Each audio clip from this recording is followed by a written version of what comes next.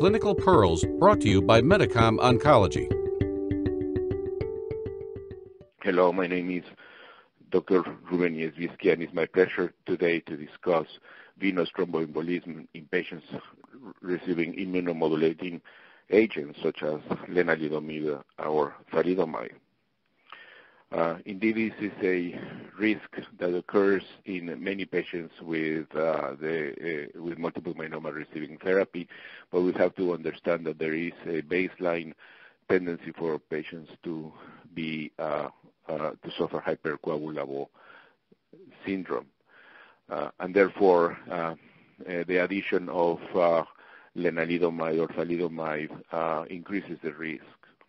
However, the risk is way higher when uh, dexamethasone is added and much higher when this is given at high doses. So the first step is to try to avoid as much as possible the use of high, higher doses of dexamethasone or polychemotherapy when combined with uh, uh, lenalidomide. Now, uh, from all the risk uh, combinations, the use of doxorubicin or alkylating agents can enhance the risk of thrombosis in, in patients receiving lenalidomide or thalidomide. But uh, now in recent days, the combinations of lenalidomide with dexamethasone or uh, proteasome in, in, inhibitors has reduced the risk of thrombosis at 5% or less. For this, um, the typical um, uh, antithrombotic agent is uh, aspirin uh, uh, at a low dose of 100 milligrams, 85 milligrams, or in higher doses as well. The risk of uh, thrombosis in patients receiving aspirin ranges between 2 to 5 percent, depending on the high, on the risk group.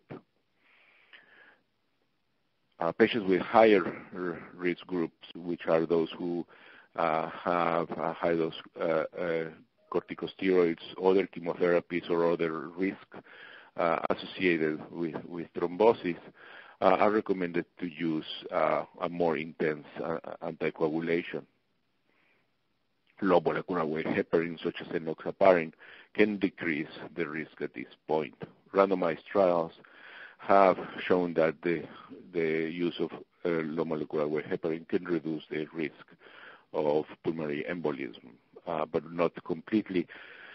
Uh, as a group of patients receiving low molecular weight heparin can, can still suffer uh, thromboembolisms at 1.5 to 2 percent.